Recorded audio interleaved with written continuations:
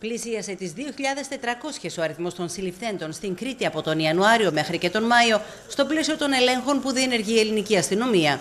Τα επίσημα στοιχεία της Ελλάς μαρτυρούν ότι 388 άτομα σε σύνολο 2.409 συλληφθέντων φόρεσαν χειροπέδες για ναρκωτικά.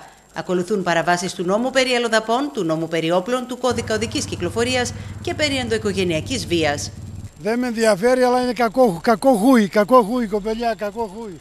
Έχουμε την πρωτοτυπία αυτή και το προνόμιο να είμαστε, να έχουμε τέτοια πρωτιά. Τώρα το άνοιγμα, αν ε, ε, πρέπει να περηφανευόμαστε ή να ντρεπόμαστε είναι άλλο θέμα και αυτό είναι γεγονός. Οι παραβάσεις που κάνουν οι χανιώτες, όλοι τα θέλουμε όλο το δρόμο δικό μας, ε, τα πεζοδρόμια δικά μας, να παρκάρουμε πάνω, να σταματάμε στις ράμπες.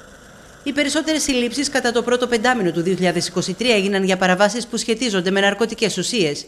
Στους τέσσερις νόμους ανήλθαν στις 388. 260 συλλήψεις έγιναν για παραβάσεις του νόμου περί αλλοδαπών, 252 για παραβάσεις του ΚΟΚ, 237 για ενδοοικογενειακή βία και 197 για όπλα.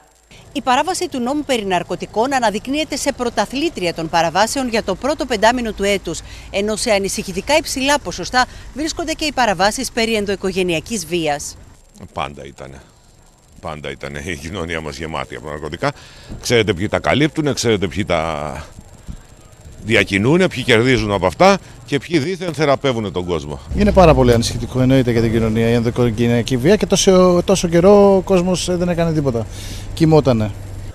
Οι μήνες των περισσότερων παραβάσεων ήταν ο Μάρτιος και ο Μάιος. Συγκεκριμένα, μέσα στον Μάιο έγιναν 564 συλλήψεις, 92 άτομα συνελήφθησαν για παραβάσεις του νόμου περί ναρκωτικών, 85 για παραβάσεις του ΚΟΚ, 64 για παραβάσεις του νόμου περί ελοδαπών, 63 συλλήψεις έγιναν για διάφορα δικήματα μετά από έγκληση. Πραγματοποιήθηκαν επίσης 39 συλλήψεις για παραβάσεις του νόμου περί όπλων, 36 για παραβάσεις του νόμου περί ενδοοικογενειακής βίας, αλλά και 34 για παραβάσεις περί ζωοκλοπής.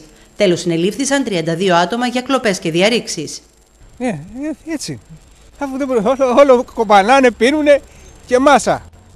Το ποτό δεν βγαίνει σε καλό. Πρέπει να λάβετε τα μέτρα σας, διότι θα χάσουμε τον τουρισμό πρώτα απ' όλα. Τον Φεβρουάριο πραγματοποιήθηκαν οι λιγότερες συλλήψεις του πενταμήνου.